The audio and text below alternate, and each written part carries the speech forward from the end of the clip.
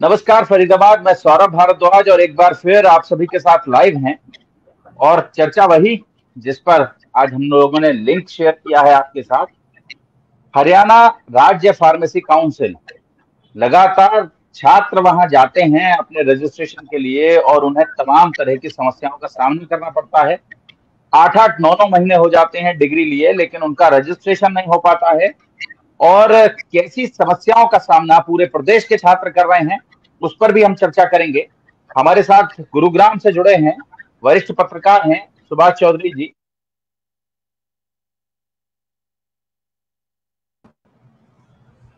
नमस्कार। चौधरी साहब नमस्कार। स्वागत है हमारे इस कार्यक्रम में। और आज हम लोग हरियाणा राज्य हरियाणा राज्य फार्मेसी काउंसिल के विषय में चर्चा करने के लिए आपके साथ लाइव हैं। और निश्चित रूप से आपकी जो रिसर्च है इस पूरे प्रकरण में छात्रों को कैसे परेशानियों का सामना करना पड़ रहा है, कैसे कॉलेजेस को परेशानियों का सामना करना पड़ रहा है और नए नए कानून नए नए नियम बनाकर लगातार छात्रों को किसी तरह से उनका जो आय है, उनका जो रोज़गार है, उससे वंचित किया जा रहा है। जी चौधरी साहब, क्या लग रहा है आपको? देखिए, फार्मेसी सब्जेक्ट ऐसा है जो अपने आप में सेल्फ एक्सप्लेनेटरी है कि ये स्वरोजगार पैदा करने वाला विषय है। और इसको लेकर गवर्नमेंट ऑफ़ इंडिया का काफ़ी फोकस रहा है। न्यू एजुकेशन पॉलिसी से पहले भी और न्यू एजुकेशन पॉलिसी आने के बाद भी। इसको लेकर भारत सरकार वर्तमान नरेंद्र मोदी सरकार बहुत संवेदनशील है और बहुत इस दिशा में कई ऐसे कुछ स्टेप्स ऐसे उठाए गए हैं, कुछ प्रावधानों को बदला गया है। खासकर जो फार्मेसी काउंसिल ऑफ़ इंडिया है, उसके प्रोविजंस में भी काफ़ी बदलाव किए गए उसे बहुत सक्रिय किया गया है। और जितनी डीम्ड यूनिवर्सिटीज हैं, अगर मैं बात करूँ ऑल इंडिया लेवल की और स्पेशली इन हरियाणा, उन सबने स्वरोजगार को पैदा करने की दृष्टि से, उसकी संभावनाओं को आगे बढ़ाने की दृष्टि से, जो टैलेंटेड बच्चे हैं, उसको जो कि मेडिकल में नहीं जा पाते, खासकर नीट कंपीट करने के बावजूद, क्योंकि सीट्स की कमी है एमबीबीएस की तो फिर उस तरह के टैलेंटेड बच्चे कहाँ जाएँ? उसकी तेजस्विता का, उसके इंटेलिजेंस का उपयोग आखिर कैसे किया जा सकता है? फार्मेसी की दृष्टि से, मेडिकल के क्षेत्र में। तो उस दिशा से सभी कॉलेजेस ने फार्मेसी जो सब्जेक्ट है, चाहे वो डिप्लोमा इन फार्मेसी है, या फिर बी फार्मेसी है, या मास्टर इन फार्मेसी है, उसको शुरू किया। बहुत सारे लोगों ने फार्मेसी डॉक्टरेट की भी शुरुआत उन्होंने की है। हरियाणा में बहुत सारे बच्चे हैं जो नीट कम्पीट करते थे, लेकिन क्योंकि हरियाणा में मेडिकल कॉलेजेस की संख्या अभी भी कम है, हालाँकि फ़ाइल में या राजनीतिक बातों में बहुत सारी बातें सुनने को मिलती हैं हकीकत वैसा है नहीं जैसा कि आप लंबे समय से पत्रकारिता में आप भी इस बात को अच्छी तरह जानते हैं आपका कार्य क्षेत्र हरियाणा लंबे समय से रहा है। तो हरियाणा में एमबीबीएस की सीट्स बहुत कम है अपेक्षाकृत दूसरे राज्यों की तो राज्य भी छोटा है। लेकिन जो एस्पायरेंट्स हैं जो स्टूडेंट्स हैं उसकी संख्या बहुत ज़्यादा है। नीट आज के तारीख में हरियाणा में बहुत सारे बच्चे अच्छे हैं जो आगे बढ़कर करते हैं। लेकिन चौधरी साहब जी। मैं थोड़ा सा इसलिए रोकूँगा आपको बीच में थोड़ा सा कुछ स्टूडेंट्स हमारे साथ जुड़े हैं जिनको एक्चुअल परेशानियों का सामना करना पड़ रहा है। हम उन्हें भी अपने साथ जोड़ रहे हैं और कोशिश कर रहे हैं कि वो लोग हमारे साथ जुड़े और उनसे हम बातचीत कर पाए। जी पूजा जी। हेलो पूजा जी सुन पा रहे हैं हमें? हाँ जी, बताइए पूजा जी। सर हमें लाइसेंस को लेकर के प्रॉब्लम आ रही है सर हरियाणा पीसीआई से। जी। और सर हमें आठ महीने हो। चुके हैं अभी तक। हाँ जी सर। जी। कहाँ से कहाँ से आपने फार्मेसी कहाँ से पढ़ी है? सर लिंगियाज यूनिवर्सिटी से। लिंगियाज यूनिवर्सिटी से फार्मेसी पढ़ी है। और हमारे हाँ साथ और भी कई सारे स्टूडेंट्स जुड़े हैं उनसे भी बात करेंगे। पुष्पेंद्र हमारे साथ हैं। जी पुष्पेंद्र जी। हाँ जी सर नमस्कार। हेलो। नमस्कार पुष्पेंद्र जी सुन पा रहे हैं आप? आप दिखाई नहीं दे रहे हमारे लोगों को। हाँ जी सर। आप दिखाई नहीं दे रहे हमारे लोगों को। जी। बताएँ पुष्पेंद्र जी क्या समस्या आपका सामना करना पड़ रहा है? सर समस्या का सामना ये करना पड़ रहा है कि हमने पीटीएलआर कॉलेज सर फार्मेसी करी थी पिछले साल। जी जी। पीटीएलआर कॉलेज बागपुर में? जी। तो सर हम जैसे फ़ाइल ले फ़ाइल लेके जाते हैं तो हमारी फ़ाइल लेते नहीं हो बोलते हैं कि तुम्हारा कॉलेज तो बैन है। कॉलेज पहले बैन तो है? पहले तो ये बोल रहे थे कि हमारे हाँ पहले तो ये बोल रहे थे कि हमारे कॉलेज का जो वो क्या नाम है जो अंडर सेशन ट्वेल्व के अंदर नहीं आ रहा पीसीआई के अंदर। ठीक है। तो वो बात हमने कॉलेज में आके बोली लेकिन अब जो पंद्रह अगस्त को आ गया था हमारे कॉलेज का नाम उसके अंदर भी आ गया था। तो हम दोबारा गए थे अभी पिछले सप्ताह। वहाँ पे गए थे तो दोबारा ये बोल रहे तुम्हारा कॉलेज नहीं होगा उसके ऊपर केस लगा हुआ बैन है वो ऐसा ऐसा बोल रहे थे वो हमसे तो। बात नहीं कर रहे साहब क्या कहेंगे ऐसी समस्याओं का सामना बहुत सारे स्टूडेंट्स को करना पड़ रहा है। हाँ बिल्कुल ठीक कह रहे हैं मैं मैं सही कह रहा हूँ कि ये जो बच्चे हैं, आप देखिए, अगर अपना, अगर दवाई की दुकान खोलना चाहते हैं, एक तरफ़ प्रधानमंत्री या केंद्रीय स्वास्थ्य मंत्री बार बार बोलते हैं कि जेनरिक मेडिसिन के लिए जो अलग से हम दवाई की दुकान खोलने के लिए बच्चों को या यंग चैप्स को हम प्रेरित कर रहे हैं, हर गलियों में उस प्रकार की दुकानें खुल सकते हैं। हर डिस्ट्रिक्ट में खुल सकते हैं। इस बार भी लोकसभा की बैठक में इस तरह के मुद्दे आए थे, जब उससे संबंधित एक बिल सामने आया था। इस प्रकार की चर्चा चली थी। लेकिन आखिर ये बच्चे स्वरोजगार कैसे कैसे हासिल कर सकते हैं, कैसे अपना स्थापित कर सकते हैं? आप अगर आठ महीने, एक साल, दो दो साल तक ऐसा हरियाणा फार्मेसी काउंसिल में इस प्रकार की फाइलें पड़ी हुई हैं कि ऐसे, ऐसी यूनिवर्सिटी जो बहुत प्रेस्टिजियस डीम्ड यूनिवर्सिटी है, लेकिन उन सारी यूनिवर्सिटीज के बच्चों को भी इन्होंने अब तक इस सुविधा से वंचित कर रखा है। आप तीन साल डिप्लोमा करके आते हैं। पुष्पेंद्र जी आपने क्या डिप्लोमा किया है या बी फार्मेसी किया है? डिप्लोमा किया सर। डिप्लोमा किया है। अब आप देखिए ये बच्चे हैं मध्यम वर्गीय परिवार के जैसा मैं समझ सकता हूँ मध्यम वर्गीय परिवार के बच्चे हैं। और अगर इन्हों, इन्होंने किसी तरह से अपनी अपने पेरेंट्स की कमाई से किसी तरह ज़िंदगी किसी तरह से कैसे करके किसी कॉलेज में जहाँ व्यक्ति को सस्ता मिलता है जो प्राइवेटाइजेशन है सरकार ये कहती है कि आपने एजुकेशन का प्राइवेटेशन इसलिए किया कि एक तो संभावनाएँ बच्चों के पास ज़्यादा बढ़े और दूसरा कि आपको जहाँ सस्ता एजुकेशन और क्वालिटेटिव एजुकेशन मिल जाए, आप वहाँ मूव करिए, वहाँ से आप अपनी डिग्री हासिल कर सकते हैं, आप पढ़ाई कर सकते हैं। अगर इस बच्चे ने मान लीजिए हरियाणा से बाहर के किसी कॉलेज से या हरियाणा के किसी छोटे ऐसी सुदूर अगर किसी ऐसे पिछड़े वर्ग, पिछड़े पिछड़े इलाके में अगर कोई कॉलेज है और वहाँ से इन्होंने डिप्लोमा अगर की है तो क्या इन्होंने कोई क्राइम कर लिया, कोई अपराध कर लिया, कोई असंवैधानिक कृत्य कर लिया? ये चीज़ों को देखना तो सरकार का काम है, पीसीआई का काम है। आप, आपका काम है सर्टिफिकेशन देना। और जब बच्चा एक, जब गवर्नमेंट ऑफ़ इंडिया या गवर्नमेंट ऑफ़ हरियाणा के सेट प्रोसेस के तहत इस बच्चे ने अपना तीन साल का, दो साल का डिप्लोमा किया और सारे एग्ज़ाम्स इन्होंने हर सेमेस्टर वाइज एग्ज़ाम होते हैं और एग्ज़ाम देकर के उसके बाद उन्होंने सर्टिफिकेट हासिल किए अब डिग्री हासिल करके और जब आप सर्टिफिकेट आपके पास लेने जाते हैं तब आप क्या बोलते हैं कि कॉलेज आपका ब्लैक लिस्टेड है। इसमें इस बच्चे की क्या गलती है? हरियाणा सरकार को यह सोचना चाहिए। बार बार हरियाणा सरकार इस बात का दावा ठोकती है कि स्वरोजगार के लिए हम बच्चों को आगे बढ़ा रहे हैं उस प्रकार की चीज़ों को हम स्किल्ड करते हैं। भाई जब कॉलेज इसको स्किल्ड करके आपके सामने खड़ा कर रहा है तो आप सर्टिफिकेट आखिर क्यों देते हैं? एक और स्टूडेंट हमारे साथ जुड़े हैं इंद्रजीत हैं हमारे साथ जुड़े हैं। जी इंद्रजीत जी बताइए। सर नमस्कार। नमस्कार।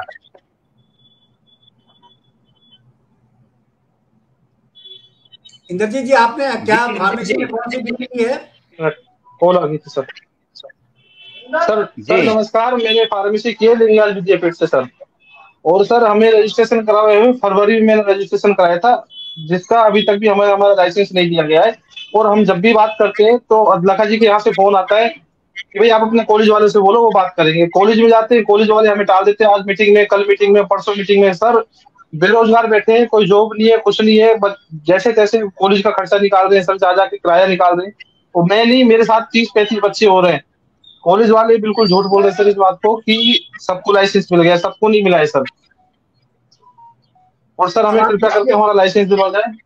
अब आप देख सकते हैं सौरभ जी कि इस प्रकार के जो बच्चे हैं कॉलेज और फार्मेसी काउंसिल के बीच में झूल रहे हैं। आखिर इसकी ज़िम्मेदारी इस, इनको फैसिलिटेट करने की ज़िम्मेदारी किसकी बनती है? हरियाणा सरकार की। या फिर जो हेल्थ डिपार्टमेंट है जिसके पैरोकार या जिसके मंत्री अनिल विज जी हैं ये उन- उनकी ज़िम्मेदारी बनती है कि इस तरह की चीज़ों को एफिशिएंटली डील किया जाए इस प्रकार के काउंसिल को सही तरीके से काम करने के लिए प्रेरित किया जाए या उन्हें मजबूर किया जाए। आप राइट टू सर्विस में इस प्रकार के सर्टिफिकेट्स को क्यों नहीं शामिल करते हो? मुझे समझ में बात नहीं आती कि साढ़े चार सौ साढ़े तीन सौ आप इस तरह की बातें करते हैं। सर्विसेज़ को इसमें शामिल किया गया है। हज़ारों बच्चे हरियाणा के ये तो तीस पैंतीस बच्चे आपको अभी बता रहे थे ये बेचारे। हज़ारों बच्चे ऐसे हैं हरियाणा में जो केवल और केवल इसी सर्टिफिकेट से वंचित रहने के कारण ना तो वो फार्मेसी के किसी कंपनी में नौकरी हासिल कर पा रहे हैं क्योंकि इस सर्टिफिकेट के बिना उन्हें नौकरी भी नहीं मिलती है और ना ही वो अपना कोई दवाई की दुकान खोल सकते हैं। चौधरी साहब पुराना मुहावरा है पढ़े फारसी बेचे तेल। अब आप ये समझ लें कि ये तो मुहावरा ये बना दिया है इन्होंने हरियाणा में पढ़े फार्मेसी और बेचे तेल। ठीक कह रहे हैं बिल्कुल सही कह रहे हैं। उस, अब हालात के बाद सही बात है। अब हालात ऐसे बन रहे हैं सौरभ जी कि इस प्रकार के अब अगर बच्चे हज़ारों की संख्या में इस तरीके से वो अगर वॉन्डरिंग करेंगे hither and thither just to get that certificate या लाइसेंस तो ऐसे में वो जो अच्छे कॉलेजेस हैं जिन्होंने ह्यूज इंफ्रास्ट्रक्चर और वर्ल्ड क्लास इंफ्रास्ट्रक्चर मैं जानता हूँ। पर्सनली भी बहुत सारे इंस्टीट्यूशन में मैंने देखा है जाकर वैसे गुड़गांव के इंस्टीट्यूशन हैं। गुड़गांव के के इंस्टीट्यूशन हैं। अरे आप ये सोचिए लिंगियाज यूनिवर्सिटी इतनी प्रेस्टिजियस यूनिवर्सिटी है। आप आप समझें कितने सालों से हज़ारों लाखों स्टूडेंट्स को उसने पढ़ाकर निकाल दिया। उस यूनिवर्सिटी को परेशान किया जा रहा है। आप सोच नहीं सकते। बिल्कुल सही कह रहे हैं। कि कितना आप देखिए एक एक अगर प्राइवेटेशन आपने किया, उनको आपने ये फ्री हैंड दिया कि आप बच्चों के लिए इन्वेस्ट करिए। कितना ह्यूज इन्वेस्टमेंट किसी ऐसे बड़े ग्रुप का उसमें होता है। लिंगायत की बात जिस, जो आपने की, ये तो बहुत बड़ा ग्रुप है एजुकेशन की दृष्टि से। ऑल ओवर इंडिया में इनके बहुत सारे ब्रांचेज हैं। अब अगर इस प्रकार के प्रेस्टिजियस इंस्टीट्यूशन उसने अगर हरियाणा की धरती पे अपना अगर एक्सपेंशन किया और यहाँ के बच्चों को उन्होंने एजु, एजुकेशन की दृष्टि से कैटर करने की कोशिश की तो क्या उनका अपराध हो गया? इस तरह से क्यों नेल डाउन करना चाहते हैं? समझ में बात नहीं आती है कि आखिर हरियाणा सरकार की आँखें कहाँ हैं? इससे तो आप देखिए अगर जो युवा हैं जो लोग यहाँ पढ़ रहे हैं और खास करके मैं ये कह रहा हूँ टेक्निकली कि हरियाणा फार्मेसी काउंसिल में जो लाइसेंस लेने के लिए जा रहे हैं they are not the resident of other states वो सबके सब हरियाणा के रेजिडेंट हैं वो बच्चे। तो आप हरियाणा के बच्चों के साथ, उन युवाओं के साथ इस प्रकार का अन्याय आखिर क्यों कर रहे हैं? क्यों नहीं? अगर कोई ऐसी तकनीकी दिक्कत है या अगर कोई खामी है तो उन खामियों को आपको सामने रखना चाहिए, जिससे कि पब्लिक अवेयरनेस हो। जी, सौरभ जी।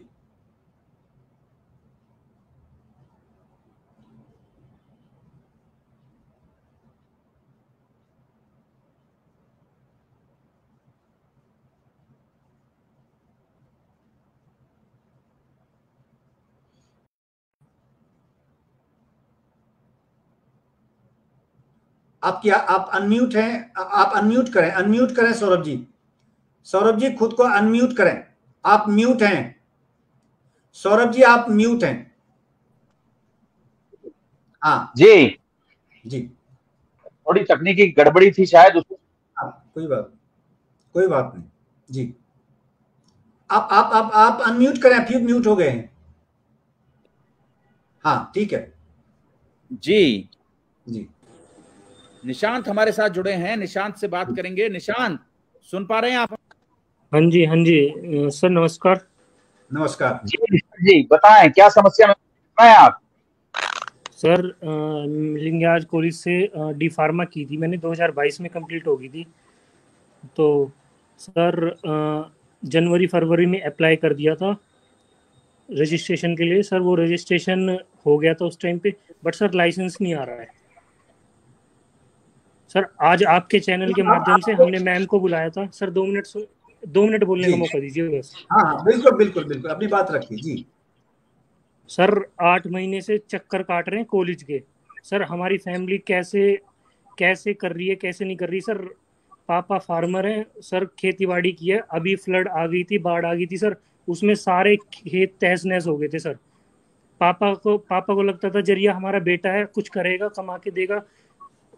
तो सर अब कुछ भी नहीं रहा है और पापा की भी उम्मीदें टूट गई हैं सर। कुछ इतना अच्छी कोई वो है नहीं हमारी कि हमारे पास बैकअप है, हमारा पैसा है, जो हम कर भी सके कुछ। सर कुछ है ही नहीं है। और सर कॉलेज में जाते हैं, कॉलेज वालों को बातें करने तक कभी पता नहीं है। उन्हें अपनी समस्या वो दे, बताते हैं तो कॉलेज वाले बोलते हैं कि, डीन है, उसको हमने समस्या बताई अपनी कि ऐसे ऐसे प्रॉब्लम हो रही है। तो डीन बोलता है, हम भी भूखे मर जाएँ क्या तुम्हारे साथ साथ ये उनकी बातें करने के तरीके हैं, सर। बकायदा वीडियो भी हमारे पास, हम आपको वीडियो भी दे देंगे उस चीज़ की, जो उसने बोला हमें, कि हम भी भूखे मर जाएगा तुम्हारे साथ। सर, बातें करने का नहीं पता। सर, जब ये लाइसेंस प्रोवाइड के लिए बोलते हैं कि हमें लाइसेंस प्रोवाइड करवा दो तो सर, ये लोग बोलते हैं, हमारा काम था आप लोगों को डिग्री देने का। अब हम लोगों ने डिग्री दे दिया है, अब हमारा कोई मतलब नहीं है। तुम्हें लाइसेंस मिले या ना मिले? सर, हमने जो पढ़ाई की थी, वो लाइसेंस के लिए ही की थी। हमें डिग्री तो सर, हमें डिग्री का तो हमारा भी कोई काम नहीं है। डिग्री ऐसी पड़ी है आठ महीने से सर अलमारी में पड़ी है। लाइसेंस होता तो सर हम जॉब भी कर लेते। अगर कोई भी हमें जॉब देना चाहता है तो उससे पहले लाइसेंस माँगता है। हम कहीं ड्यूटी करना चाहते हैं हम अपना फार्मेसी खोलना चाहते हैं। लाइसेंस के बगैर सर कुछ नहीं है।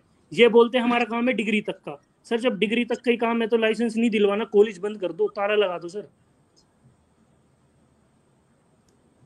सर आपका म्यूट है। आप म्यूट हैं म्यूट हैं। सौरभ जी सौरभ जी आप म्यूट हैं। जी थोड़ी तकनीकी दिक्कत है शायद जी जी हम ये जानना चाह रहे हैं कि पहले पहले ऐसा महसूस हो रहा था कि के माध्यम से केवल स्टूडेंट्स को परेशान किया जा रहा है। अब ऐसा लग रहा है कि फार्मेसी काउंसिल के माध्यम से कॉलेजेस को भी परेशान किया जा रहा है इंस्टीट्यूशन को परेशान किया जा रहा है।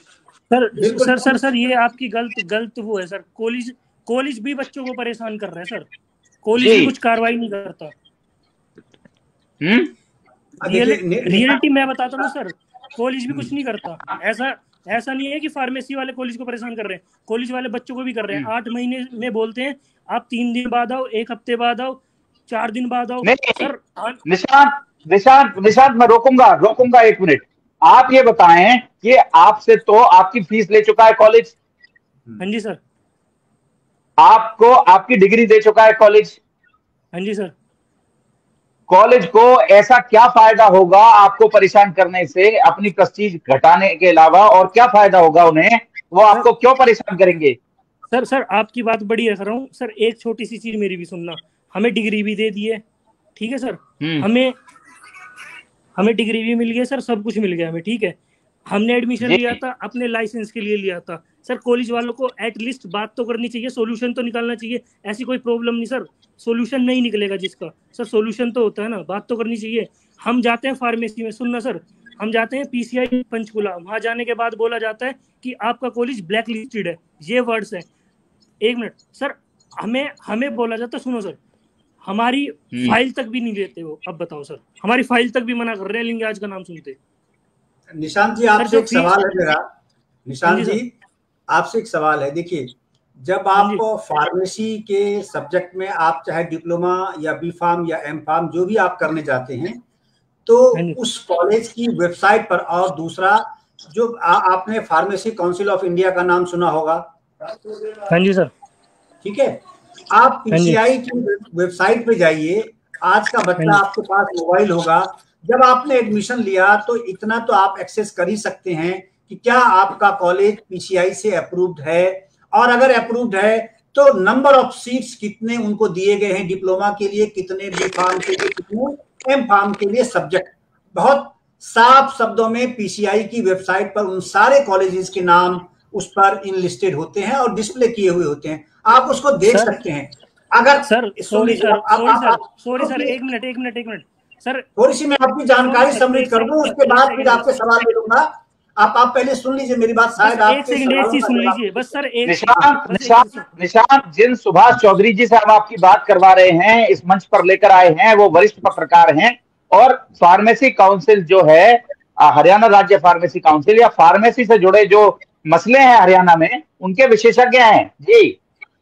जी मैं आप मेरी बात सुनिए फिर आपके सवाल बिल्कुल मैं एकदम सुनूँगा। मैं ये कह रहा हूँ कि आपने आपने फार्मेसी काउंसिल के उस पर जाकर फार्मेसी काउंसिल ऑफ़ इंडिया पे आपने एक्सेस किया वहाँ सारी चीज़ें दी हुई है ठीक है? अब अगर फार्मे अगर अगर आपको हरियाणा फार्मेसी काउंसिल आपको की ओर से ये बताया जाता है कि आपका कॉलेज ब्लैक लिस्टेड है क्या आपने फार्मेसी काउंसिल ऑफ़ इंडिया की वेबसाइट पर जाकर लिस्ट में आपने अपने कॉलेज का नाम ढूंढा? आप अभी प्रोग्राम समाप्त होते ही आप उसको एक बार देखिए और तब आपको पता चलेगा कि क्या आपका कॉलेज वाकई ब्लैक लिस्टेड है? फार्मेसी हरियाणा फार्मेसी काउंसिल कौन होता है किसी को किसी को ब्लैक लिस्टेड करने वाला? जब इनके पास ये परमिशन ही नहीं है, इनके पास ये ऑथेंटिकेशन नहीं है कि किसी कॉलेज को वो ऑथेंटिकेट कर सके इस मुद्दे पर पीसीआई पीसीआई का ये अधिकार क्षेत्र होता है और पीसीआई ही किसी भी कॉलेज को ऑल ओवर इंडिया इस प्रकार के लाइसेंस देती है। तो उसमें आप जाकर देखिए कि क्या उस लिस्ट में आपके कॉलेज का नाम है या नहीं है। अगर नहीं है तो हरियाणा फार्मेसी काउंसिल सही कह रही है। और अगर है तो वो झूठ बोल रही है, आपको कंफ्यूज कर रही है। दूसरी बात है जो आपने कहा कि कॉलेज वाले आपको परेशान करते हैं, ये ये आपकी परेशानी को मैं समझ सकता हूँ। आप यंग आदमी हैं, आज आप आठ महीने से बेरोजगार हैं, अभी तक आप अपना रोज़गार या तो स्थापित कर लिए होते, या कहीं ना कहीं किसी कंपनी में आप अपनी नौकरी हासिल कर लिए होते, अगर उस लाइसेंस वो लाइसेंस आप ले लेते तो बिल्कुल आपके दर्द को मैं अच्छी तरह समझ सकता हूँ। हमारे भी बच्चे हैं, मैं इस बात को अच्छी तरह समझ रहा हूँ। सवाल ये उठता है कि जो कॉलेजेस हैं, जिस कॉलेजेस का नाम आप ले रहे हैं या और भी जो कॉलेजेस हैं, मैं आपको प्रूफ के साथ ये बातें कह सकता हूँ। इतने बड़ी बड़ी यूनिवर्सिटी हरियाणा में है और उन्होंने एक बार नहीं, शायद आपके कॉलेज ने आपको ठीक से इन्फॉर्म नहीं किया, इसीलिए आपका ये परसेप्शन बन गया है। आपके कॉलेज से जितनी इंफॉर्मेशन उन्होंने मांगी होगी एक एक स्टूडेंट की लिस्ट वो मांगते हैं। इस ईयर में, इस सेशन में कितने बच्चे ने किया, कौन बच्चा था, उसका मार्क्स कितना था एक एक डिटेल हरियाणा फार्मेसी काउंसिल मांगती है और उन कॉलेजेस ने उन यूनिवर्सिटीज ने एक बार नहीं सौरभ जी ये शॉकिंग इंफॉर्मेशन मैं आपको बता रहा हूँ।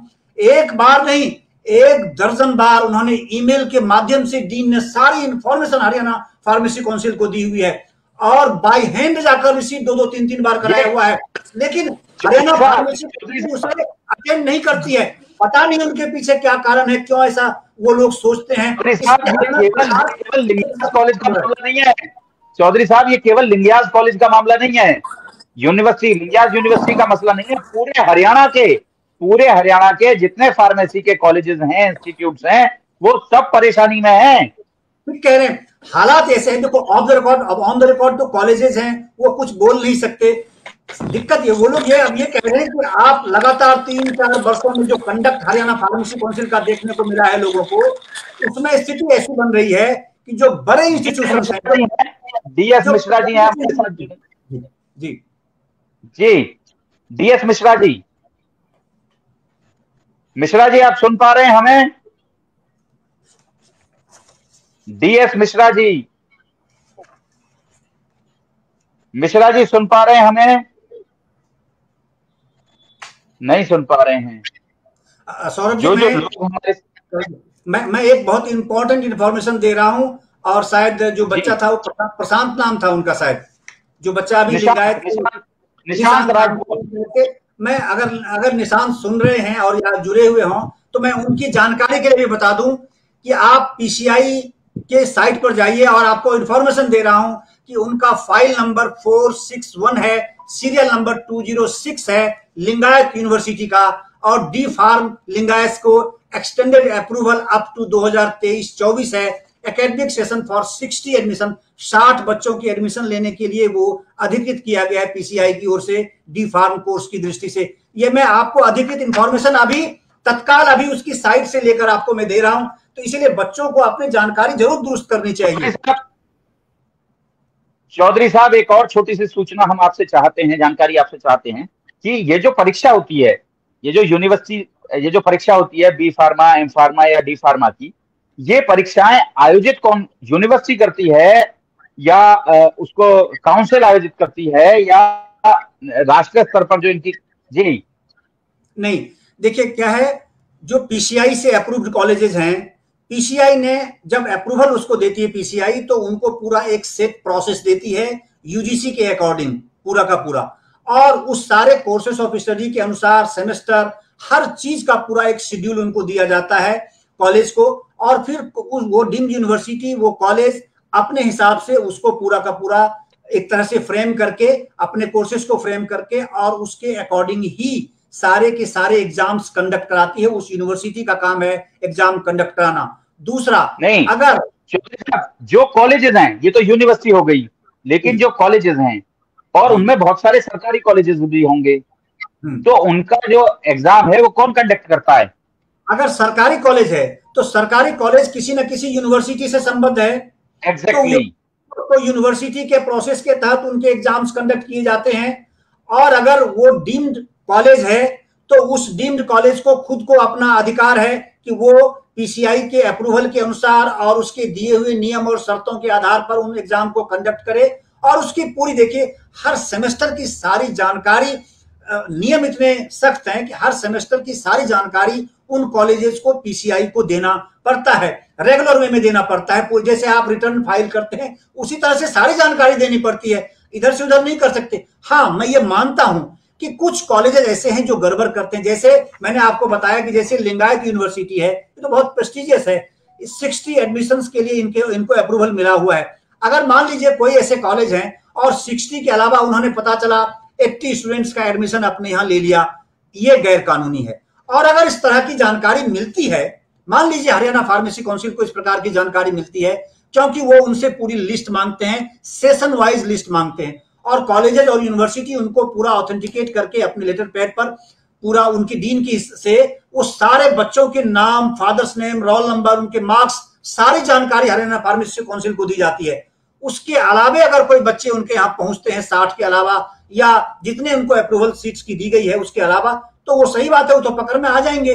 अब उसके बाद अगर आपको वो जानकारी मिल चुकी है, अगर डीम्ड यूनिवर्सिटी ने आपको सारी जानकारी दे दी है, फिर इस प्रकार के बच्चों को आप सड़कों पर की सड़कों की खाक छानने के लिए क्यों मजबूर कर रहे हैं? इससे हरियाणा सरकार की छवि कितनी खराब हो रही है? आप युवाओं को स्वरोजगार के लिए, रोज़गार के लिए एक तरफ़ आप कहते हैं कि ग्रेजुएशन हासिल करने वाले बच्चों को जैसे ग्रेजुएशन के मुहाने पे पहुंचेगा, उनका रिज़ल्ट आना होगा, उसी समय उनके घर हम, उनके डोर स्टेप पर हम पासपोर्ट पहुँचा देंगे।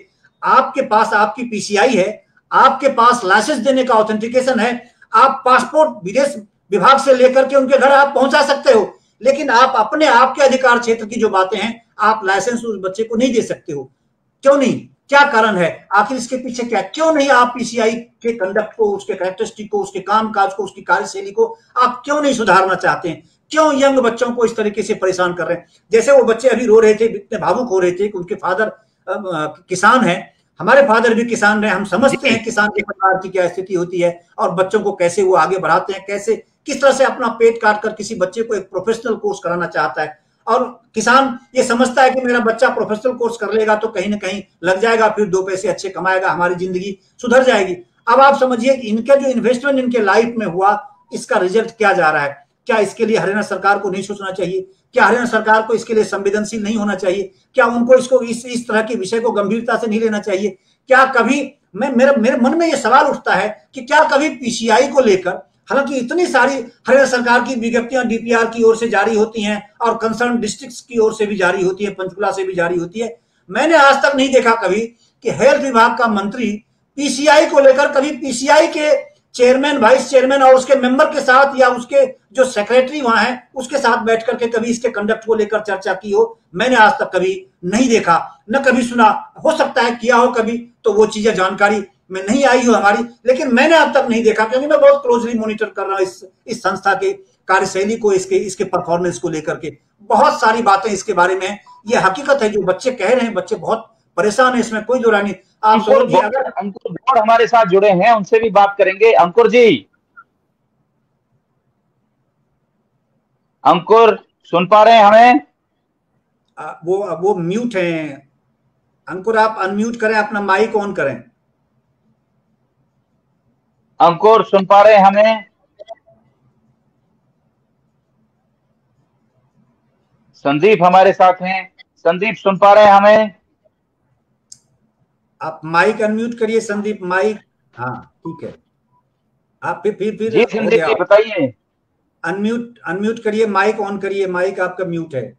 बंद है माइक संदीप आप अपना माइक आप देखिए सिग्नल आपको दिख रहा होगा माइक का।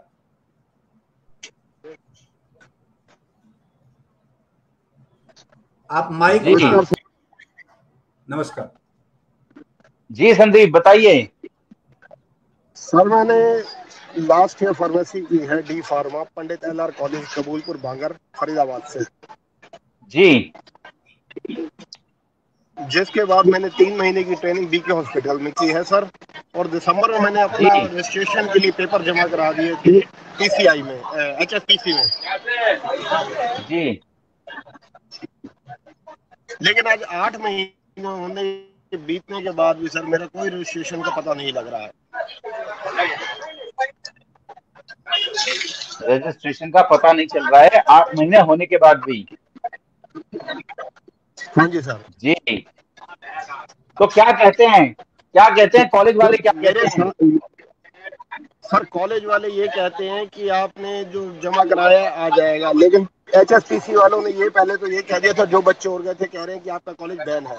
अंडर सेक्शन ट्वेल्व में आपके कॉलेज का नाम नहीं आ रहा। तो उसकी रिगार्डिंग हम अपने कॉलेज में गए थे। तो हमारे चेयरमैन सर ने हमें कहा कि और अब वो नाम आ भी गया। लेकिन अब दोबारा हमारे साथ के कुछ बच्चे गए थे। उसके बावजूद वो कह रहे हैं कि आपके कॉलेज में कोई कंप्लेंट्स आई हुई है। उसकी पहले इंस्पेक्शन होगी, उसके बाद आपकी फाइलें जमा होगी। आप नई फाइलें ले नहीं रहे और जो पुरानी फाइलें हैं उनको रजिस्ट्रेशन भेज नहीं रहे हैं। सर हमारे साथ कई ऐसे बच्चे हैं जो बिल्कुल ही लोअर क्लास से थे। उनके फादर वगैरह ने कर्जा लेके उनको फार्मेसी कराई वो बहुत ज़्यादा परेशान है। वैसे तो मोस्टली सारे ही मिडिल क्लास के हैं सर। दो साल पैसा सब हम्म। कुछ हमने लगाया। हमारा कसूर इसमें क्या है सर? ये बताइए। अंकुर गौड़ हमारे साथ हैं उनसे भी सुनेंगे उनसे भी बात करेंगे। जी अंकुर जी सुन पा रहे हैं आप हमें? सर आपके माध्यम से हम सरकार को भी ये कहना चाहते हैं एच को भी कहना चाहते हैं कि जल्द से जल्द हमारा रजिस्ट्रेशन भेजा जाए ताकि हम किसी काम कर सके। हम्म। जी चौधरी साहब। देखिए, मैं ये कहता हूँ कि अगर हरियाणा फार्मेसी काउंसिल की नज़र में लगता है कि कोई कॉलेज का कंडक्ट अच्छा नहीं है, या फिर उसे जो कंसर्न अथॉरिटी है, उससे उनको अप्रूवल नहीं है फार्मेसी से संबंधित कोर्सेज को चलाने का। तो अगर आपको इसकी जानकारी मिलती है, या फिर नंबर ऑफ़ सीट्स जितना अप्रूव्ड उनको दिया गया, उससे कहीं अधिक सीट्स पे उन्होंने एडमिशन ले लिए तो इसके बारे में आपने क्या कार्रवाई की? क्या आपने हरियाणा सरकार को या कंसर्न काउंसिल को या कन, या पीसीआई को आपने इसके बारे में पत्राचार किया? मेरा एक सवाल है।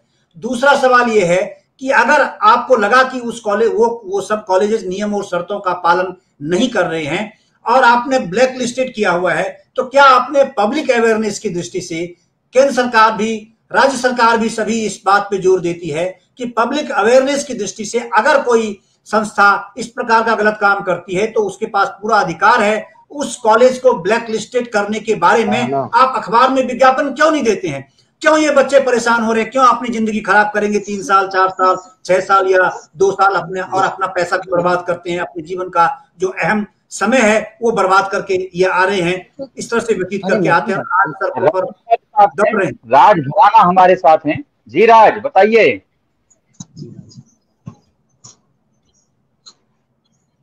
जी राज बताइए आप।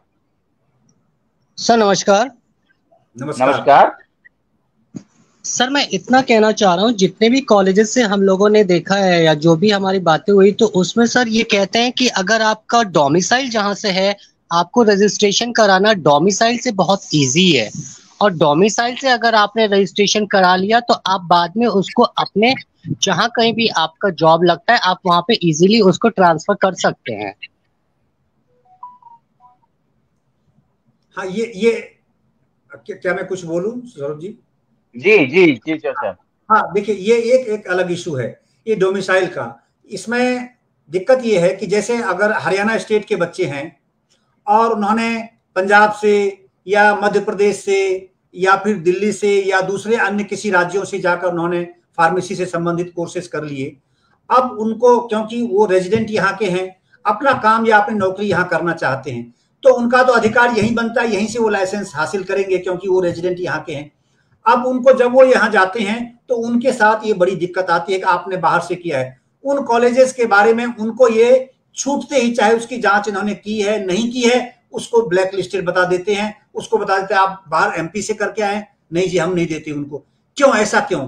क्या क्या कोई ऐसा कानूनी प्रावधान है जिससे कि आप इस प्रकार की चीज़ों को वंचित कर सकते हैं किसी बच्चे को? एक दूसरा जो डोमिसाइल की इन्होंने बात कही है, मैं थोड़ा सा इनको ये थोड़ा शायद एक्सप्लेन नहीं कर पाए, मैं आपको बताऊँ कि डोमिसाइल का इशू ये है कि अगर वो बच्चा यहाँ का है तो उनका अधिकार यहाँ बनता है। दूसरा, अगर किसी दूसरे स्टेट से हैं, जैसे किसी दूसरे स्टेट का बच्चा अगर हरियाणा के किसी कॉलेज से आके उसने फार्मेसी के कोर्सेज किए डिग्री हासिल की तो उनको फिर एनओसी लेने की ज़रूरत पड़ती है। वो एनओसी उनको, उसमें उनके डोमिसाइल की आवश्यकता पड़ती है। कि जब तक वो यहाँ से एनओसी नहीं लेंगे तो दूसरे जो कंसर्न उनकी फार्मेसी काउंसिल उस स्टेट की फार्मेसी काउंसिल है, वो उसको लाइसेंस नहीं देंगे। हकीकत में बात ये होती है। तो इसीलिए, लेकिन उसमें आप एनओसी का जो मुद्दा उसमें डाल रखा है, जैसे, उसी तरह से, जैसे कि आप यूजीसी ने डाला हुआ है कि कॉलेज अगर आप एक यूनिवर्सिटी से आपने कोई काम, कोई आपने डिग्री हासिल की है, और दूसरी स्टेट के किसी यूनिवर्सिटी में आप जा रहे हैं तो आपको एक तरह से माइग्रेशन सर्टिफिकेट की आवश्यकता पड़ती है। इस प्रकार के प्रोविज़न है। आप एक तरफ़ ये तो कहते हैं कि फेडरल स्ट्रक्चर है हमारा। जब फेडरल स्ट्रक्चर है तो हाँ। आप आप ration card one ration card की बात कर रहे हैं आप। लेकिन आप फिर तब भी माइग्रेशन आपने बच्चों को इस तरह से सड़कों के पर खाक छानने के लिए मजबूर करने के लिए इस प्रकार के प्रोविज़न आप बना रखे हैं। न्यू एजुकेशन पॉलिसी में इस प्रकार की सुविधाएँ क्यों नहीं दी जा रही? क्यों इस प्रकार के पुराने जो सर्टिफिकेशन जिससे आप लाइसेंस राज आप बोलते हैं इंडस्ट्री की दृष्टि से आपने इन बच्चों के लिए लाइसेंस राज क्यों बना रखा है? क्यों ऐसी स्थिति में बच्चे इस तरह से मजबूर हैं इस तरह से अपना अपना संघर्ष करने के लिए अपनी ज़िंदगी को स्थापित करने के लिए?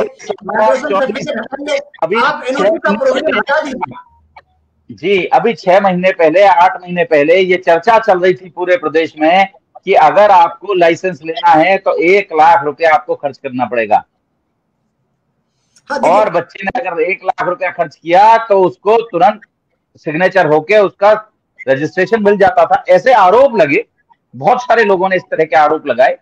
हालाँकि वहाँ पे एफ़ भी दर्ज हुई। जी। मैं मैं मेरा तो सवाल बहुत जेन्युइन है। जो बच्चे कह रहे हैं जो परेशानी अपने बच्चे व्यक्त कर रहे हैं उसको लेकर के मैं कहता हूँ कि सरकार संवेदनशील क्यों नहीं होती है? क्यों नहीं सक्रिय हो रही है? क्यों नहीं फार्मेसी काउंसिल की जो कार्यशैली है उसमें सुधार लाने की बात की जा रही है? क्यों नहीं हेल्थ मिनिस्टर इसको लेकर के सक्रिय हो रहे हैं गंभीर क्यों नहीं होते हैं? क्यों बच्चों को इस प्रकार से हेल्थ मिनिस्टर को सुन कौन रहा है? मामला उठता है मामला फ़ाइल जाती है हेल्थ मिनिस्टर से फ़ाइल माननीय मुख्यमंत्री जी के पास जाती है और वहाँ फिर सब हाँ तो देखिए, जब जब आप, जब कंडक्ट अच्छा नहीं है, लोगों को सही सर्विस नहीं मिलेगी, समय पे सर्विस नहीं मिलेगी, समय पे वो सुविधाएँ जिसके लिए वो, जो उसका अधिकार है, आप डिग्री हासिल करने के बाद ये उसका अधिकार है लाइसेंस लेना, आप उससे वंचित नहीं कर सकते। इस मामले को लेकर हाईकोर्ट में, चंडीगढ़ हाईकोर्ट में भी कई मुद्दे डले थे, और उसको जब वहाँ से आदेश आया, उसके बाद फिर आनंद फानंद में यहाँ से डिग्री यहाँ से लाइसेंस दी गई। इस प्रकार के उदाहरण हरियाणा फार्मेसी काउंसिल के बारे में है। पिछले वर्षों की बात मैं आपको बता रहा हूँ। तो कुलदीप हमारे साथ कुलदीप हमारे साथ जुड़े हैं उनसे भी बात करेंगे। जी कुलदीप जी। नमस्कार सर। नमस्कार जी। सर मैं पंडित जवाहरलाल का स्टूडेंट हूँ। मैंने 2022 में फार्मेसी करी थी और जब मैंने फार्मेसी करी थी सर बता रहे थे कि पीसीआई की वेबसाइट पे चेक करना चाहिए। तो उन्होंने हमें अप्रूवल की लिस्ट दी थी कि हमारा कॉलेज अप्रूव्ड है। सेकंड थिंग सर हमारे कंडक्ट होते हैं एग्ज़ाम एच के थ्रू वहाँ seventy percent attendance seventy five percent attendance mandatory होते हैं। जब वो लोग हमारा एग्ज़ाम कंडक्ट कर रहे हैं इसका मतलब ये हो गया कि सेवेंटी फाइव परसेंट तो हमारे अटेंडेंस है। सेकेंड थिंग जो बात होती है कि अब हमारी सरकारी यूनिवर्सिटी से है हमारे पास जो डिग्री है उसके बिहार पे हमारा लाइसेंस क्यों नहीं दिया जा रहा? पहले ये बोल दिया गया तुम्हारा जो पीसीआई की अप्रूव लिस्ट है उसमें नाम नहीं है। पंद्रह अगस्त को दोबारा लिस्ट आती है उसमें हमारा नाम आता है। हमारे साथ के जो और बंदे हैं हमारी फ़ाइल सबमिटेड है वहाँ पे और जो बंदे हैं वो फ़ाइल लेके दोबारा जाते हैं। तो वहाँ का जो चेयरमैन जी हैं और जो भी स्टाफ मेंबर हैं, वो ये बोलते हैं, भाई तुम अपने उसको भेजो चेयरमैन को भेजो, तुम अपने प्रिंसिपल को भेजो, तुम अपने उसको भेजो। फ़ाइल लाइसेंस हमें लेना है ना। कॉलेज ने तो कह दिया कि भाई हमने आपने जो अपना काम तो करा दिया। ना कॉलेज को इतना इम्प्रूव कर रहा है चीज़ों को, ना फार्मेसी काउंसिल कर दिया आठ महीने हो गए इसलिए क्या रीजन है? क्या हम मतलब ये बोल दो कि एस एस फेक है उसको बंद कर दो। या फिर ये बोल दो, अब नए एडमिशन हो गए इन कॉलेजेस के अंदर। तुम लोग ये बोल रहे हो कि कॉलेज ब्लैक लिस्टेड है। अगर जो ब्लैक लिस्टेड है तो एडमिशन बंद करवाओ ना। इन बच्चों ने एडमिशन फार्मेसिकल में चलाए थे तो और जिन्होंने नए एडमिशन उनको ब्लैक लिस्ट तो करा नहीं पा रहे हो। बस बच्चों को दुखी किया जा रहा है कि नहीं है, तुम्हारा ब्लैक लिस्टेड है, तुम्हारे चेयरमैन नहीं मिलता, तुम्हारा ये नहीं मिलता। मतलब ये बताओ कि फरीदाबाद में इतने कॉलेज हैं, आज से पहले क्या उनके बच्चों को लाइसेंस नहीं मिले क्या? मिले तो फिर हमें भी दो। और नहीं तो फिर जो आगे एडमिशन हो रहे उनका फ्यूचर भी तो खराब कर रहे हो आप। चलो हम मानते हैं हमारा हो गया। आगे जो बच्चे हैं, उनका भी खराब नहीं हो गया क्या? पीसीआई में अप्रूव्ड है। लिस्ट निकालती है मैडम चेक करती है। हाँ भाई अप्रूव्ड है। चेयरमैन जी से मिल लो। चेयरमैन जी कहते हैं, जी, देखो, आप अपने प्रिंसिपल को बुलाओ या अपने ऑथराइज पर्सन को बुलाओ, आपके आने से कुछ नहीं होगा। क्यों भी लाइसेंस चेयरमैन को लेना है क्या? हमें लेना है लाइसेंस तो। क्यों नहीं देते? अप्रूव्ड दो कॉलेज में पीसीआई की वेबसाइट पर लिखवाओ कि ब्लैक लिस्टेड है। और जहाँ पे ऑनलाइन हम, हरियाणा में फार्मेसी में रजिस्ट्रेशन करते हैं ना, वहाँ कॉलेज का नाम ही नहीं आना चाहिए तुम्हारा कॉलेज ब्लैक लिस्टेड है।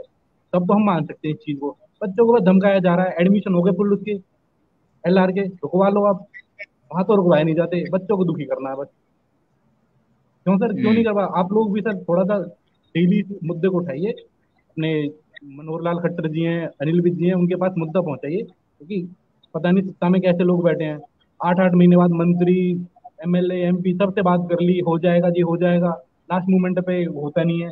आठ महीने से एक ही गोली मिल जा रही है। ऐसा भी क्या डॉक्यूमेंट हो गया? हरियाणा से सारे डॉक्यूमेंट है मेरे। टेंथ ट्वेल्थ सब कुछ डोमिसाइल एक भी डॉक्यूमेंट फर्जी नहीं है। डॉक्यूमेंट फर्जी है तो हरियाणा की गवर्नमेंट के फर्जी है वो। मेरे फर्जी नहीं है। उसको ब्लैक लिस्टेड करो आप। हमें क्यों दुखी कर रहे हो? नहीं है की तो फिर मना कर दो ना पीछे चलाना। कुलदीप कुलदीप कौन सी यूनिवर्सिटी से है आपका college affiliated sir Haryana technical board of education Saraswati college है। सर मैं हूँ पंडित एल से। सरस्वती कॉलेज है शेरावत कॉलेज है एडवांस कॉलेज है। ऐसे दस कॉलेजेस के नाम है दस कॉलेजेस के बच्चों से बात होती है क्योंकि फार्मेसी जब ट्रेनिंग करी थी ना उसमें बीके हॉस्पिटल में तो वहाँ डिफरेंट कॉलेजेस के बच्चे आते हैं। उन सबसे यारी दोस्ती हो गई थी। वो सब बता रहे हैं कि मतलब जिसका जुगाड़ है उसके लाइसेंस भी आ रहे हैं। हमारा नहीं है जुगाड़ क्या करें? बैठ कुलदीप क्या रेट चल रहा है लाइसेंस का? सर ये नहीं पता क्या रेट चल रहा है बट यही सुनने में आता है कि जुगाड़ है और हमारा कोई डायरेक्टली उससे बात करने का जुगाड़ नहीं हम कैसे बात कर रहे हैं सर? जुगाड़ है तो लाइसेंस मिलेगा नहीं है। आपके कागज़ पर वज़न रखा है तो लाइसेंस मिलेगा आपके कागज़ पर वज़न नहीं रखा है तो लाइसेंस नहीं मिलेगा। तो फिर कागज़ पे ही वज़न रख देते हैं ना फ़ीस वीस कॉलेज की छुड़वा देते हैं किसी इसको जो हरियाणा फार्मेसी है किसी को दे देते हैं चढ़ा बार अपना फिर जहू खत्म। कॉलेज में क्यों फ़ीस हमारे दो साल क्यों खराब हुआ है तीन साल हो चुके हैं सर। लास्ट ईयर 2021 में अपने एग्ज़ाम दिए थे। बीस इक्कीस बाईस तेईस चल रहा अब। एक साल तो ट्रेनिंग करे हो चुका है सर। क्यों भाई ऐसा क्या पाप कर दिया हमने? आप ये बताओ ना अगर जो हरियाणा का कॉलेज है हरियाणा के अंदर अवेलेबल है उसको आप कह रहे हो ब्लैक लिस्टेड है। तो पहले अपना हरियाणा टेक्निकल बोर्ड से उसको ब्लैक लिस्टेड करवाओ कि आप एग्ज़ाम ही ना हो दसवीं हरियाणा बोर्ड से बारहवीं हरियाणा बोर्ड से। आप ये, ये जो लिस्ट में मैं आपको शेयर कर दूँगा। पंद्रह अगस्त को अपडेटेड लिस्ट आई है उसकी। उसमें सारा कॉलेज बिल्कुल अप्रूव्ड है। उसमें कंडक्ट लिखा हुआ है your college has been approved to conduct sixty students for approval 2023-24 जब 23-24 का तो मतलब हमारे बैच का भी हमारे पास डॉक्यूमेंट है कॉलेज में दिया है हमें लेटर वहाँ जाते हैं तो ये बोल देती मैडम चेयरमैन जी से मिल लो। चेयरमैन जी कह देते हैं आप अपने उससे मिल लो डायरेक्टर को भेजो प्रिंसिपल को भेजो प्रिंसिपल जी के पास जाते हैं, वो ये कहते हैं, भाई, हमने अपना काम कर दिया अब तुम देखो तुम्हारा काम देखेगा। दो महीने लगे, चार महीने लगे, छह साल लगे। कोर्ट में केस डाल देंगे, कोर्ट में फिर तारीखें तारीखें मिलती जाएँगी, फिर वो लाइसेंस नहीं आना। फिर चेयरमैन जी जय हो जी की खत्म। भाई, अब 2022 का जो हमने पास आउट किया, उसके बाद 2023 के बच्चों के एग्ज़ाम हो चुके हैं जून जुलाई के अंदर। उनका रिज़ल्ट आएगा, वो ट्रेनिंग करेंगे। फिर उनका भी एडमिशन नहीं होगा। साठ बच्चे और ऐड हो गए। एक तो साठ बच्चे एक सौ सत्तर बच्चे हो चुके हैं। कितनी समस्या में है ये जो छात्र हैं इनकी पीड़ा आप समझ सकते हैं चौधरी साहब। इनको किस लेवल पर किस स्तर पर परेशान किया जा रहा है? कोई सामने नहीं केवल नहीं अब कॉलेजेस को भी परेशान किया जा रहा है। सर सबको डर इस बात का। आपने तो... आपने मुँह खोला आपका फिर रजिस्ट्रेशन कैसे होगा? रोक लिया जाएगा। कौन क्या कर सकता है? सत्ता में बैठे हैं भाई पावर में सरकार से थोड़ी भिड़ सकता है आम आदमी। अब पचास बच्चे हैं पचास में से चालीस के इशू कर दोगे एक का नहीं करोगे क्योंकि उसका नाम आया था फ्रंट सीट पे। वो बच्चा फिर ना आपके हेल्प ले सकता है ना किसी और की ले सकता है। अब आप देखिए ये सरकारी कॉलेज से किए हुए हैं और हरियाणा सरकार का ही वो काउंसिल है और वहाँ से अप्रूव्ड वो कॉलेज है ऑलरेडी उसके बाद उस, उस कॉलेज से निकले हुए बच्चों के साथ इस प्रकार का व्यवहार है। इससे अब अब जो अभी थोड़ी देर पहले आप एलिगेशन की बात कर रहे थे तो इसी से उस प्रकार के परसेप्शन बनते हैं। फिर सरकार कहती है कि हम पर अनर्गल आरोप लगाया जा रहा है। आखिर आरोप आप पर क्यों नहीं लगाया जाए? जब आप, जब उस प्रकार के कंडक्ट आप दिखा रहे हैं, लोग जो बच्चे हैं, सरकारी संस्थानों से, सरकारी संस्थानों से अप्रूव्ड कॉलेजेस से भी डिग्री हासिल करके और तब चक्कर काट रहे हैं आपके। दूसरी सबसे बड़ी कमी यह है कि एक तो इस, इसको राइट टू सर्विस एक्ट में शामिल नहीं किया गया है, जो कि करना बहुत ज़रूरी है। दूसरी बात यह है कि इस फार्मेसी काउंसिल को जनता के, सरकार के या फिर जो अकाउंटेबिलिटी इसकी है वो फिक्स नहीं की गई है। क्योंकि मैं ऐसा इसलिए कह रहा हूँ कि जितने कॉलेजेस हैं, जिस कॉलेजेस का नाम ये ले रहे हैं, आप बताइए किसी प्रिंसिपल को क्या इतनी फुर्सत है? वो क्यों किसी एक पर्सन टू पर्सन किसी एक बच्चे के केस को लेकर के वो पैरवी करने के लिए फार्मेसी काउंसिल में हाजिरी लगाने क्यों जाए? प्रिंसिपल का ये काम नहीं है या किसी डीन का ये काम नहीं है? चौधरी साहब केवल एक स्टूडेंट की बात नहीं है पूरे पूरे बैच के पूरे पूरे बैच के रजिस्ट्रेशन नहीं हो रहे हैं। नहीं हो रहे हैं। तो अब आप ये देखिए कि आखिर आपसे अगर काम होता है पत्राचार से आपके पास डॉक्यूमेंट दे दिए। आप ये बताइए जब हरियाणा सरकार ये कहती है राष्ट्रीय लेवल पर पिछले नौ वर्षों में मैं कई ऐसे अवार्ड का नाम ले सकता हूँ जो कि डिजिटलाइजेशन में और ऑनलाइन सिस्टम को ऑनलाइन करने की दृष्टि से आप नेशनल अवार्ड कई बार ले चुके हैं भारत सरकार से, वर्तमान सरकार से, पिछले नौ वर्षों में। आप इस प्रकार का दावा ठोकते हैं और चंडीगढ़ में जिसका मुख्यालय है, हरियाणा फार्मेसी काउंसिल आज तक आप उसका डिजिटलाइजेशन नहीं कर सके। आप, आज तक आप उसके सिस्टम को ऑनलाइन क्या करते हैं? ऑनलाइन के नाम पर क्या किया है इन्होंने? वेबसाइट पर आप केवल आप अप्लाई कर सकते हैं। आपसे केवल फ़ी ले लेंगे। और आपने अप्लाई कर दिया, उसके बाद फिर आप समय तय करिए और उसके लिए अलग अलग दिन अलग अलग डिस्ट्रिक्ट के लिए इन्होंने फिक्स कर रखा है।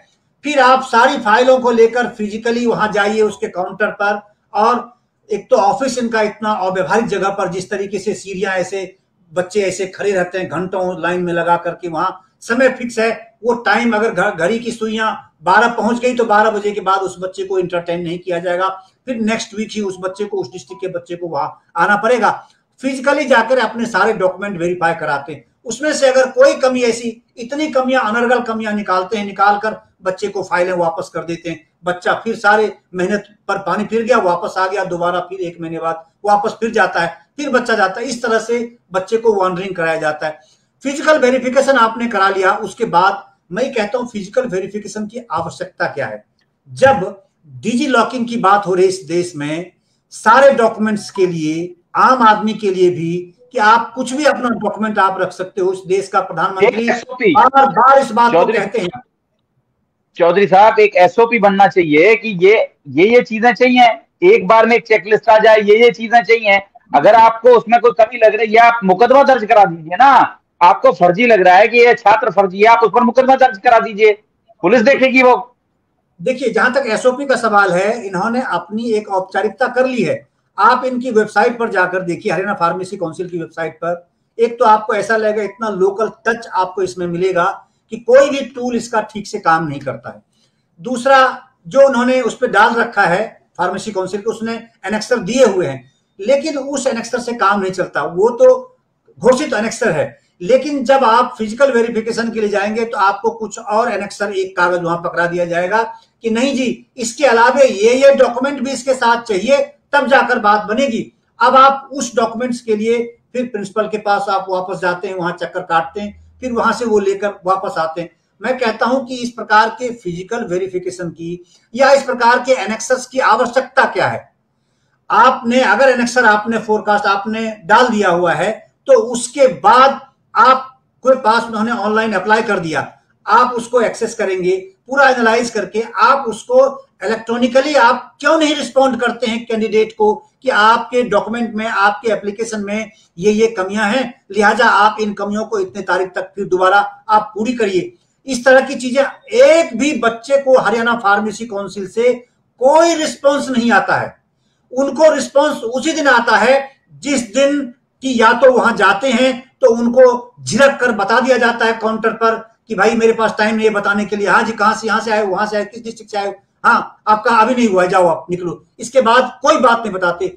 दूसरा रिस्पॉन्स उसी दिन मिलता है, जिस दिन सौभाग्य से किसी कारण से किसी तरह चक्कर काट काट कर काट काट कर, चाहे जैसे भी जिस तरीके से हो, चाहे अनफेयर मीन्स हो या पॉजिटिव मीन्स हो, किसी तरीके से उसको अगर जब लाइसेंस उसका इश्यू हो जाता है तो लाइसेंस उस बच्चे के घर बाय पोस्ट जब आ जाता है तब जाके बच्चे को वो रिस्पॉन्स मिलता है। इसके अलावा हरियाणा फार्मेसी काउंसिल किसी के प्रति इस धरती पर किसी संस्था के प्रति उत्तरदायी नहीं है। मैं सौरभ भारद्वाजी मैं आपको ये बातें बता रहा हूँ। ये कितना दुखदायी पार्ट है हरियाणा की धरती पर। एडमिनिस्ट्रेटिव कितना लैकिंग है।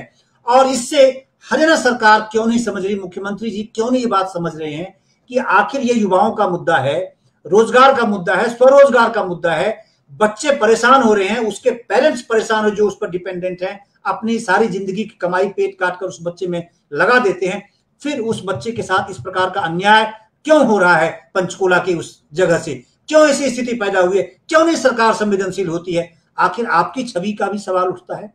आपकी कार्यशैली पर सवाल उठता है। लोगों को क्या पता? बच्चों को देखे, अभी बहुत सारे बच्चे हैं जिनको बहुत सारे नियम कानून नहीं पता है। उन्होंने डिग्री कर ली, उन्होंने पढ़ाई अपनी पूरी कर ली, अपना उसमें, उनकी अपनी एक सीमा है। हर बच्चे की, अपनी एक सीमा है जानकारी की, उनको नहीं पता है। तो क्या सरकार की ज़िम्मेदारी नहीं बनती है कि उसको ठीक ढंग से फैसिलिटेट करें, वहाँ की कार्यशैली में सुधार लाया जाए, इन बच्चों को उनके घर तक आप वो सुविधा पहुंचाएँ, जब उसका ये अधिकार है डिग्री हासिल करने के बाद, फिर आप इस प्रकार से उसको वंचित किए हुए हैं। और इतने इतने आरोप, कितने प्रकार के आरोप हरियाणा फार्मेसी काउंसिल पर लगे हैं, बहुत सारी घटनाएँ मैं उस घटनाओं में नहीं जाना चाहता। बहुत सारे हरियाणा प्रदेश के लगभग सभी लोगों को इस, इसका इसकी जानकारी है जो केमिस्ट हैं जो फार्मासिस्ट हैं उनको सबको पता है। और जितने कॉलेजेस हैं यहाँ यूनिवर्सिटी हैं सबको जानकारी है वहाँ क्या क्या हुआ है कैसे छापे पड़े हैं कैसे गिरफ़्तार हुए हैं कैसे हाईकोर्ट में चल रहे हैं पेंडिंग है। मामला दर्ज है करप्शन का उसके बावजूद वो लोग फिर दोबारा जीत कर आ जाते हैं फिर दोबारा कुर्सी पर बैठे हुए हैं और इस प्रकार के बच्चों के भाग्य को सीधा एकदम जूते से कुचल रहे हैं। माफ़ करिएगा, मैं इस तरह के डेरोगेटरी शब्द का उपयोग कर रहा हूँ, क्योंकि इन बच्चों के दुख को देखा नहीं जाता। इतना ज़्यादा, इतनी परेशानी सा लगता है कि क्यों इस प्रकार के भविष्य को, इन बच्चों के भविष्य को आप कुचल रहे हो बैठकर, अपने हाथ में पावर लेकर। किस पावर से? जो वोटिंग का सिस्टम भी इतना खराब है, इतना, ये जो फार्मेसी काउंसिल के जो चुनाव होते हैं, ये इस चुनाव में भी इतनी गड़बड़ियों के आरोप इतने लगते हैं, हर बार इतने आरोप लगते हैं, और इसका सिस्टम ही फॉल्टी है। इसका सिस्टम फॉल्टी है। जो मेंबर्स के चुनाव होते हैं वाइस चेयरमैन के चेयरमैन के, ये इतना फॉल्टी सिस्टम है कि क्योंकि जो फार्मासिस्ट रजिस्टर होते हैं, जिनको लाइसेंस इशू किया जाता है, वही इसमें वोट डाल सकते हैं इनके लिए। अब आप समझिए, उनको बाई हैंड या फिर वैसे उनको नहीं दिया जाता है, उनके घर, जबकि नियम यह है कि उनके घर उनके वोटर से संबंधित, आप समझिए, आज की तारीख में, देश में वर्तमान जो सरकार है केंद्र की, वो कहती है कि हम चुनाव किससे कराएँगे? ईवीएम से कराएँगे। वो सबसे फुल प्रूफ सिस्टम है। सबसे फुल प्रूफ सिस्टम है। अब आप समझिए हरियाणा फार्मेसी काउंसिल का, जिस राज्य को बारंबार डिजिटलाइजेशन ऑनलाइन और इस तरह की चीज़ों से इंटरनेट सिस्टम को ज़्यादा ज़्यादा उपयोग करने के लिए ई फाइलिंग करने के लिए बारंबार राष्ट्रीय अवार्ड मिले हैं उनको। और हरियाणा फार्मेसी काउंसिल का चुनाव कैसे होता है? बैलेट पेपर से। बताइए, इस प्रकार की संस्था का, राज्य स्तरीय संस्था का बैलेट पेपर से चुनाव होता है। क्या आज की तारीख में भारत में ये ये स्वीकार्य है? होना भी चाहिए क्या? क्या ये व्यवहारिक है? जिस देश की केंद्र सरकार बारंबार कहती है, दूसरी पार्टियाँ बोलती है, बैलेट पेपर से चुनाव कराओ तो उस पर आरोप लगाते हैं कि ये भ्रष्ट हैं और ये भ्रष्टाचार फिर करप्शन करना चाहते हैं, बैलेट पेपर लूट कर फिर सत्ता में आना चाहते हैं। फार्मेसी काउंसिल को क्या मजबूरी है कि आप बैलेट पेपर से चुनाव कराते हो? आखिर क्यों कराते हो ऐसा?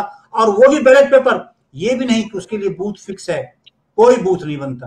क्या है? सिस्टम है। वहाँ जो लोग बैठे हैं उन, उन्होंने ऐसा ग्रैब कर रखा है कि बैलेट पेपर भी इन रजिस्टर्ड फार्मासिस्ट के पास नहीं पहुँचते हैं। अपने अपने हाथों में ये उस बैलेट पेपर को साइन करवाकर अपने हाथ में लेते हैं और उन सारे कैंडिडेट्स को बुलाकर अपने घर में अपने नाम का मोहर उस पर टिक करा के और फिर अपने से खुद ही उसको बंडल बनाकर और फार्मेसी काउंसिल को भेज देते हैं जो उसके इलेक्शन इंचार्ज होते हैं। आप समझिए हरियाणा सरकार क्या कर रही है? हेल्थ विभाग क्या कर रहा है, जो वहाँ एडिशनल चीफ सेक्रेटरी लेवल के अधिकारी जिसके नीचे ये सारी चीज़ें हैं, उसकी क्या ज़िम्मेदारी बनती है? उनका कोई उत्तरदायित्व नहीं है, उनकी कोई जवाबदेही नहीं है। क्या ये लोग जो बच्चे इस तरह से परेशान हो रहे हैं, ये सिस्टम इतना फॉल्टी सिस्टम है, इसके लिए कौन जिम्मेदार है? दस साल, नौ साल पहले, चलिए, पूर्ववर्ती सरकार थी, आप उस पर आरोप लगा सकते हैं कि उन्होंने इस सिस्टम को फॉल्टी बनाया, मगर नौ साल क्या नौ दिन है? नौ दिन में आप इस संस्था को नहीं सुधार सकते हैं? आप बैलेट पेपर वो गलत थे इसलिए इस देश की जनता ने इस प्रदेश की जनता ने उन्हें बदल दिया। ठीक बिल्कुल सही कह रहे हैं। तभी तो आपसे ये उम्मीद जताई बिल्कुल कि इस सिस्टम को आप सही करेंगे दुरुस्त करेंगे। जो अन्याय होता रहा है लोगों के साथ उस अन्याय को आप न्याय में तब्दील करेंगे। आप सारी व्यवस्था में सुधार करेंगे पूरा परिवर्तन करेंगे। आपने हरियाणा फार्मेसी काउंसिल आपके विधानसभा का चुनाव, आपके पंचायत का चुनाव, सरपंच का, पंच का, चाहे ग्रामीण स्थानीय निकाय हो या फिर शहरी स्थानीय निकाय हो, आप ईवीएम से चुनाव कराते हो और फार्मेसी काउंसिल का पूरे स्टेट के फार्मासिस्ट इसमें वोट डालते हैं। सारे पढ़े लिखे लोग इसमें वोट डालते हैं। एटलीस्ट डिप्लोमा होल्डर भी जो होते हैं, वो भी इसमें वोट डालने के लिए अधिकृत हैं, जो रजिस्टर्ड फार्मासिस्ट हैं। तो आप उस इतने पढ़े लिखे लोगों के लिए, समाज के लिए जो चुनाव होता है उनके जो चेयरमैन बनेंगे वाइस चेयरमैन बनेंगे मेंबर बनेंगे उनका चुनाव आप बैलेट पेपर से कराते हो। और अगर बैलेट पेपर से भी आप कराते हो तो उस बैलेट पेपर को आप कैसे सुनिश्चित करते हो कि उस रजिस्टर्ड फार्मासिस्ट या जो वोटर है उस वोटर के पास वो उन, उनका बैलेट पेपर पहुँच गया उनके नाम का। आपने कभी सरकार ने इस चीज़ों को ढूँढने की कोशिश की? कभी इसको इंक्वायर करने की कोशिश की? कैसे व्यवस्था में सुधार होगा? आखिर छवि किसकी खराब हो रही है? सरकार को खुद सोचना चाहिए। मुझे लगता है पता नहीं सरकार को अपनी छवि की भी चिंता है या नहीं है। देखिए अगर आप देखेंगे पूरे पिछले दो तीन माह से मैं ये देख रहा हूँ अच्छी बात है अच्छी कोशिश है कि कम से कम मुख्यमंत्री अलग अलग योजनाओं के जो लाभार्थी हैं सौरभ जी जो लाभार्थी हैं उन लाभार्थियों से आप डायरेक्ट बात कर रहे हो। उनके अनुभव आप जानने की कोशिश कर रहे हो समझने की उनकी डिफिकल्टी के साथ भी माननीय मुख्यमंत्री को इसी तरह से बात करनी चाहिए। हाँ मैं ये कहता हूँ कि जितने रजिस्टर्ड फार्मासिस्ट हैं, या फिर जो बच्चे यंग आ रहे हैं रजिस्टर्ड फार्मासिस्ट को जिनके, जिनको जंग लग चुके हैं, वो तो उस पॉलिटिक्स सिस्टम के पार्ट हैं, सौरभ भारद्वाज जी। लेकिन जो यंग बच्चे हैं, जो अपने भविष्य को बनाने के लिए संघर्ष कर रहे हैं आज सड़कों पर, उन बच्चों से आप बात करिए, मुख्यमंत्री जी, एक बार। ये भी लाभार्थी हैं। इसको भी, चलिए, आप मत पढ़ा लिखा मान लीजिए। आप अपनी किसी योजना का इसको लाभार्थी ही मान लीजिए। उस लाभार्थी के तौर पर ही एक बार कभी आप ऑनलाइन आकर इनसे एक बार आप बात करिए। इनकी कठिनाइयों को आप समझिए तो समझ में बात आएगी कि ये बच्चे क्या चाहते हैं और क्या आपको करना चाहिए था इस नौ साल के दौरान में, एक साल, दो साल, तीन साल, चार साल, कब तक ये बच्चे इंतज़ार करेंगे इसमें सुधार होने का? आखिर क्यों इस बच्चे के साथ, इन बच्चों के साथ अन्याय हो रहा है? आप संस्थान को छोड़िए, जो शिक्षण संस्थान है, वो अपना रास्ता बदल लेंगे। मैं मैं आपको उदाहरण दू, सौरभ जी, कि बहुत सारे ऐसे इंस्टीट्यूशन हैं जो मार्केट के ट्रेंड को देख करके सरकारी तंत्र के कंडक्ट को देख करके वो अपने यहाँ कोर्सेस शुरू करते हैं या फिर कोर्सेस बंद कर देते हैं क्योंकि उन्हें पता है वो कमाने के लिए आए हैं। अगर जहाँ उनकी जहाँ उनको लगता है कि कमाई में ये सरकारी तंत्र खलल पैदा करता है उस कोर्सेज को वो बंद कर देते हैं। इंजीनियरिंग में बहुत सारे कोर्सेज बंद हो रहे हैं। दूसरे अन्य अन्य प्रोफेशन की बात भी मैं कह रहा हूँ। कभी फिर चर्चा करेंगे तो मैं आपकी इस, इसका ज़िक्र करूँगा। लेकिन अब मैं कह रहा हूँ मैं दावे के साथ कह रहा हूँ कि फार्मेसी से संबंधित जो इंस्टीट्यूशन हैं वो बड़ी गंभीरता के साथ इस विचार इस पर विचार कर रहे हैं कि हम इस ब्रांचेस को बंद कर दें। क्योंकि बच्चों में इंप्रेशन बड़ा गंदा जा रहा है। अब जैसे बहुत सारे बच्चे जो अभी आपके साथ जुड़े दर्जनों उन सारे बच्चों ने किसको दोषी ठहराया? कॉलेज को इंस्टीट्यूशन को। अपने इंस्टीट्यूट को। या एग्जैक्टली जबकि इंस्टीट्यूशन की ये रिस्पॉन्सिबिलिटी नहीं है। ये उन, ये उनका उनका फॉल्ट नहीं है। ये हरियाणा फार्मी फार्मेसी काउंसिल की ज़िम्मेदारी है और उससे ऊपर हरियाणा सरकार की, हेल्थ विभाग की, स्वास्थ्य मंत्री की या हेल्थ सेक्रेटरी की या हेल्थ जो डायरेक्टर है उनका, जो डायरेक्टर इसके लिए इंचार्ज होंगे फार्मेसी काउंसिल के, उनको देखना चाहिए था। या फिर ACS additional chief secretary level के जो अधिकारी हैं, उनका काम है।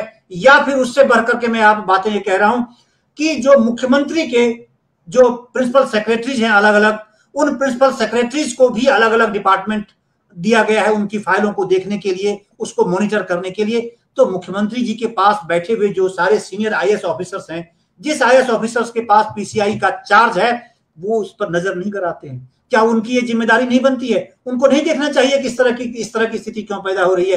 क्या वाकई इससे रिलेटेड जो बेनिफिशियरीज हैं, आप लाभार्थी ही मान लीजिए। मत मानिए आप युवा उसको। वैसे रोज़गार पैदा करने वाले या रोज़गार लेने वाले उस तरह के लोगों को आप लाभार्थी मान लीजिए। मैं बहुत सस्ते शब्दों का उपयोग कर रहा हूँ इन बच्चों के लिए। बहुत दुर्भाग्यपूर्ण बात है ये।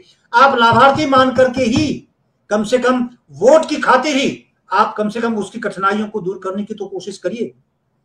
इत, इतनी इतनी जी। चौधरी साहब ये ये बहुत लंबी कथा है क्योंकि ये भ्रष्टाचार की कहानी है इसलिए बहुत लंबी कहानी है। और लगभग एक घंटे से हम लोग इस सब पर चर्चा कर रहे हैं और मंथन में निकल कर आया है कि ये जो फार्मेसी काउंसिल ऑफ़ हरियाणा की जो फार्मेसी काउंसिल है, हरियाणा राज्य फार्मेसी काउंसिल है, वहाँ सब कुछ ठीक नहीं चल रहा है।